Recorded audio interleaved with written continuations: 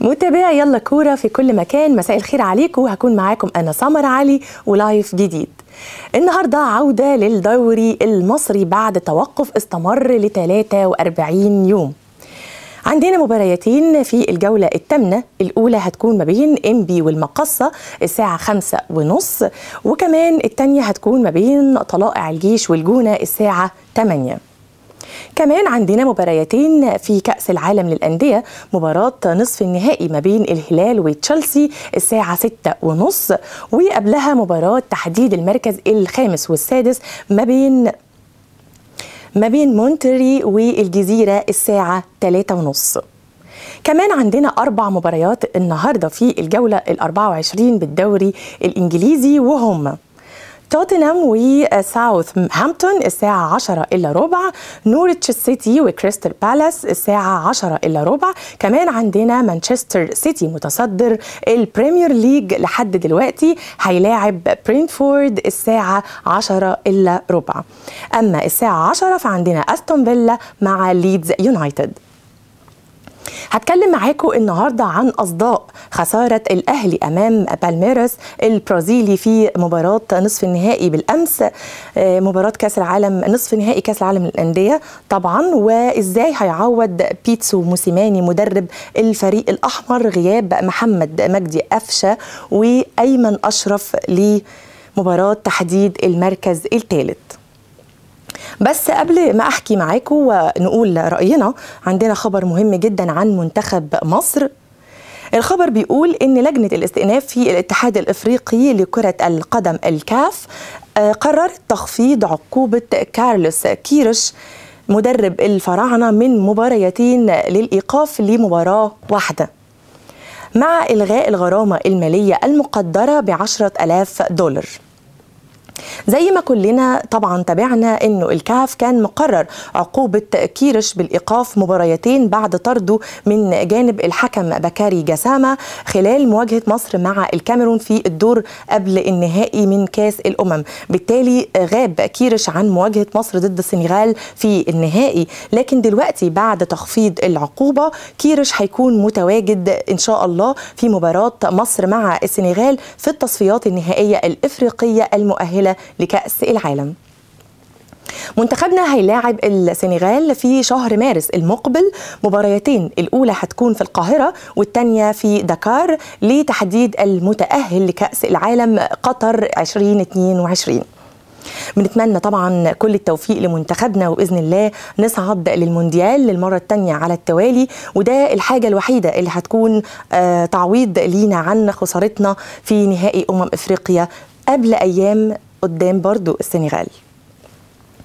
نرجع لأخبارنا مع النادي الأهلي واللي للأسف خسر بالأمس اتنين مقابل لا شيء أمام بالميراس البرازيلي. وهينتظر الخاسر النهاردة من مباراة الهلال وتشيلسي اللي هتتلعب الساعة ستة ونص.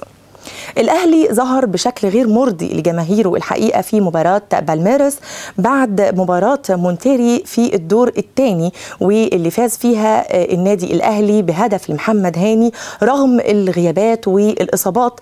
توقعت الجماهير أداء أفضل بعد عودة الدوليين لكن اللي حصل كان العكس. البعض كمان انتقد موسيماني بعد مشاركة عمرو السولية في التشكيل الأساسي خاصة أنه كان بيعاني من أزمة في التنفس خلال وجوده مع منتخب مصر في الكاميرون.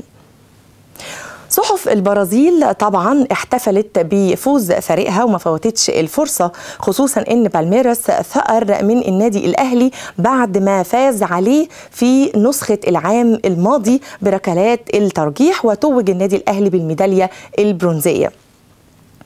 إحدى الصحف قالت إن بالميراس ابتلع الأهلي بعد ما قدم أداء جيد ومرضي للجماهير البرازيلية اللي كانت مليانة في مدرجات استاد آل نهيان.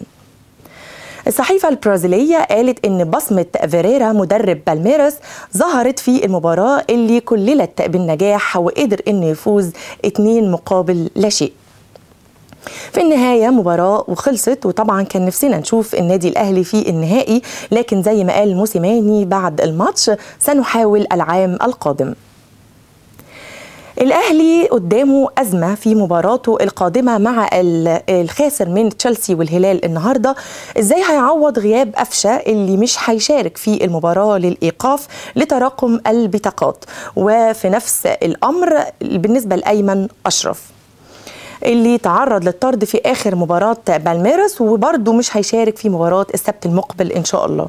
بالنسبة لغياب أيمن فموسيماني عنده حل مباشر وهو الدفع بمحمد عبد المنعم اللي أثبت نفسه مع منتخب مصر بشكل قوي وده كان بسبب وده كان سبب عودته للنادي الأهلي وقطع إعارته مع نادي فيوتشر.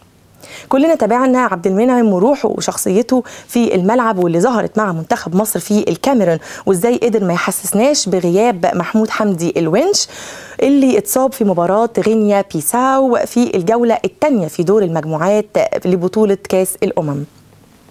منعم نزل بدل الونش وكان لعب قبلها في مركز الظهير الأيمن بدل أكرم توفيق بعد إصابة أكرم توفيق في ماتش نيجيريا. تواجد تواجد عبد المنعم مع المنتخب اداله طبعا خبرات كبيرة وبالتالي وجوده مع ربيعة وياسر إبراهيم ممكن يشكلوا الخط الدفاعي للنادي الأهلي في المباراة. في حل تاني قدام موسيماني وهو إنه يرجع حمدي فتحي مدافع ثالث آه مع ياسر وربيعة. أما بالنسبة لغياب قفشة فممكن يعتمد موسيماني على خدمات أحمد عبد القادر واللي شارك في التشكيل الأساسي في مباراة مونتيري ونزل بديل في مباراة بالميرس أو يعتمد على خدمات وليد سليمان. ولو إن ده هيكون حل بعيد شوية وإن الأقرب هو الدفع بأحمد عبد القادر. بكده تكون خلصت نشرتنا النهارده وأخبارنا. استنونا في لايف جديد وأخبار جديدة على يلا كورة. كنت معاكم أنا سمر علي. شكرا لمتابعتكم.